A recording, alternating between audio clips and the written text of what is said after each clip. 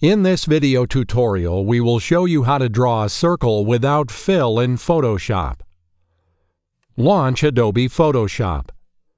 Go to the File menu and press New. In the following window, adjust the new document settings and click on the OK button. Press the Continue button in the appeared warning message. Then select the Ellipse tool from the toolbar. Go to the Tool Properties panel. Click on the Fill icon and select the No Fill option in the color palette. In the appeared Create Ellipse window, press the Cancel button.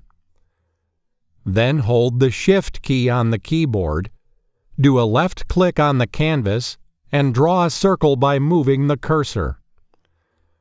A circle without fill has been successfully created.